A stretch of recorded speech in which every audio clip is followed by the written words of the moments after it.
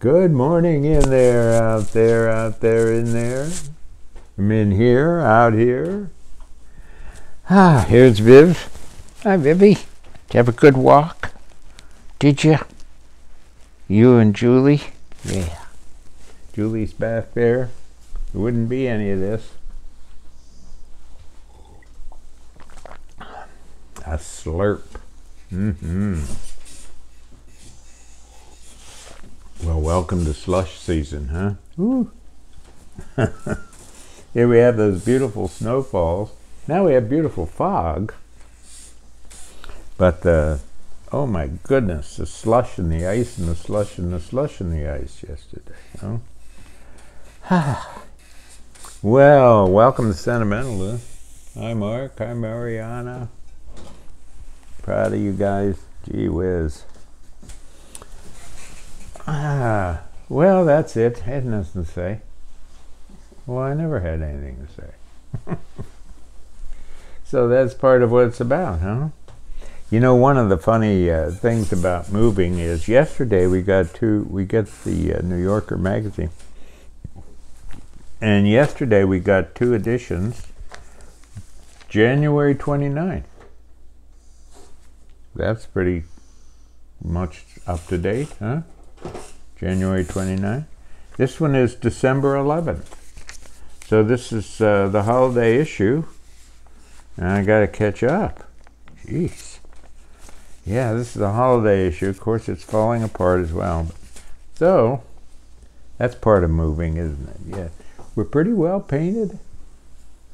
Julie's sister's doing a wonderful job downstairs. She's painting the uh, lower level which is this wonderful big lower level. Has a workroom and a TV where the TV is.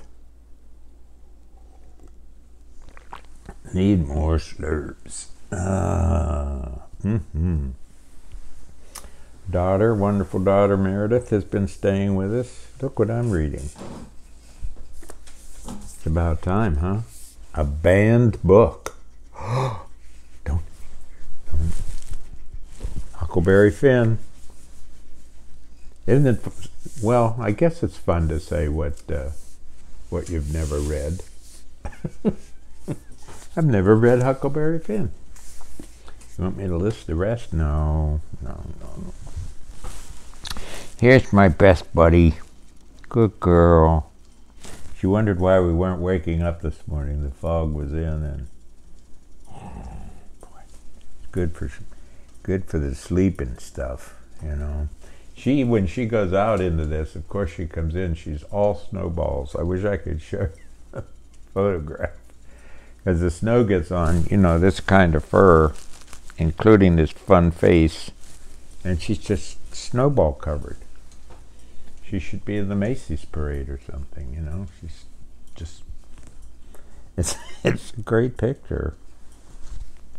I get calls from uh, my buddy Max Milo, he, he and his brother, who's a father, Catholic father, Father Paul, Max's brother, Father Paul, they're down in the Keys. They go every year.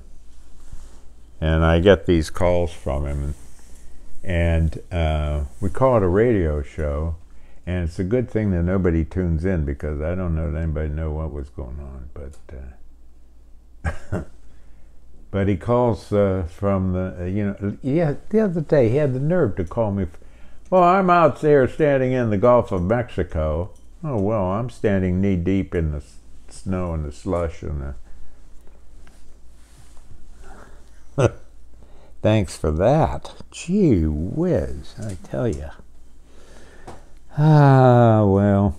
Mm-mm-mm. I was uh, supposed to speak at a a community last Sunday. They meet every Sunday morning. Couldn't make it. Couldn't make it. And they were so kind about it. Oh, no, no, don't worry. Don't, you know, don't drive. It was only about 25, 30 miles north, but wow. Couldn't get out of the driveway. Our driveway's a long lane anyway, and then at the end it goes up to the to the house. And and you, that last one, Julie, wonderful, of course. She puts ashes from the fireplace down out there, and we've so far been able to get the car into the garage. So far, yeah. Um, it was interesting last night. One one of our uh, dear friends um, had us over for. Oh my gosh, can he buy the cheese? Whew. And then I make a fool of myself, and it's awful. And I don't realize it till I come home, and I feel like, oh man, I should have had a trough. That was, uh, no, yeah, you know, good wine and crackers and bread and cheese and and you know what what he said we I just happened somehow something came up because we never want to talk about uh, the state of the the state of the political world or any of that stuff. I like to look out the window. Yeah. But he actually said, I'm frightened. This is a guy who's as stoic as they come. Walks miles every day. I've never heard him say something like that. I'm, I'm really scared. Boy. And, uh, yeah. So, uh, are you? I, you know, I guess I, I have to say, I am, we are. It's odd to live through. You know, you're trying to live your everyday thing, and you're not under physical attack or anything. Ah, oh, boy. I don't understand the uh, the mean stuff. Well, that sounds inane. That well, what doesn't? ah, boy. The uh, the interesting thing about this place where I was going to speak is that uh, they have this thing that I've thought about for a long time. That in in, in the United States, it seems like theology is first and what kind of religion and denomination and catechism and you have to be right and you're wrong. I don't remember Jesus being terribly religious. He was always it seemed like he was just wanting to heal and help and tell parables to help people think about things. Um, And then somehow it got all wrapped up into, well, your theology. And so theology, it feels like a power thing over top of everything else. You know, when our plumbing goes wrong, we don't call the seminary. No. And uh, when the lights go out, the other night, the power, we lost power about a week ago. We didn't call the seminary. No. Mm-mm. And, you know, when I had this serious neck operation, they didn't take me to the seminary.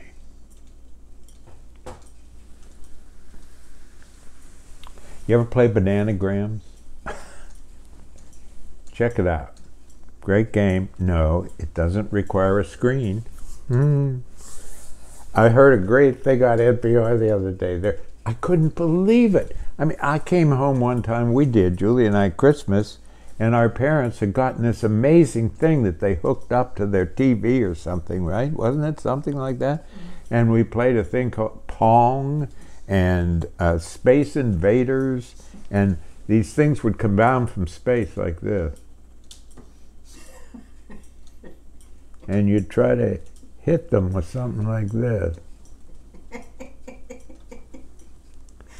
Oh. Do you know they now have retro games? You can get those. Retro. You know how everything cool is retro? Well, now gaming. retro gaming. Wow. Vivi's nose. Slurp. over retro. oh boy. So get bananagrams. But we still have Clue. Do you have Clue? A game called I'm George Gobel. now, oh, knows what I'm talking about there. No, my dear friend Jim Ellis uh, teaches in the prisons. Boy, the stories he tells. And they had a wonderful thing in Grand Rapids. They had a showing of one of the prisoners' art in this little storefront gallery museum in a section of Grand Rapids. And he was there via phone and um, speaker, and they could talk to him from the prison. And I've seen his art, it's quite remarkable. And he's in prison. Oh boy. We had the deer on the ice the other day. They were out here on the ice. That was fun to watch. They really go. They weren't Bambi. They were they were quite comfortable on the ice. That's for sure. Yeah. Um, yeah, it sounds odd. I don't understand war. Do you? I don't. I don't. I don't. Just you have a place to live. Why do you need that? I don't know. Power people. I don't get them when something happens. Wish we could fix them, make them. Wish we could make them nice. Yeah. Could make them nice. See, this is nice. Look at this. They're all curled up. You can't bet you can't even see her. Oh, she's peeking out. Hello. Plunk. Julie's at her spinning wheel. Isn't that wonderful? Oh, I wish I could turn the camera so you could see. Just creates quiet and peace. It's the most wonderful thing. Yeah, yeah. That's such John Jacob Jingle Hunt Me my name too. Mm, mm, mm. Today I get to work with a couple of people, Jane Bach, Greg Rapley on uh, poems. I have one about Manet. Jim Ellis gave me a book about Manet. And they're going to help me with that poem. And then this afternoon with Caprice Garvin, from New Jersey. It'll be Zoom. We'll talk. Well, how about a basketball poem that's a winter poem? It's, uh, I think it's the last poem in this book. This is the uh, publisher's going to publish the next book, Kevin Carey Press. Most wonderful people. I think they're just made of kindness and love and understanding, and they go, "Your for you. What can we do for you?" Yeah, this is. This is the last poem in the book. Page 89. It's called Night Gym. N I G H T, night, you know, night gym. The gym is closed, locked for the night. Through the windows, a quiet beam from the streetlights lies across center court.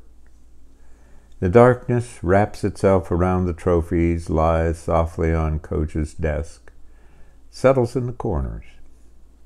A few mice scratch under the stands and at the door of the concession booth. The night wind rattles the glass in the front doors. The furnace, reliable as grace, sends its steady warmth through the rafters, under the bleachers, down the halls, into the offices and locker rooms. Outside, the snow falls, swirls, piles up against the entrance. Take care. Try to be cheerful, be kind. Remember Vizzy Vivi's nose. Thanks for being here. Thanks, Julie.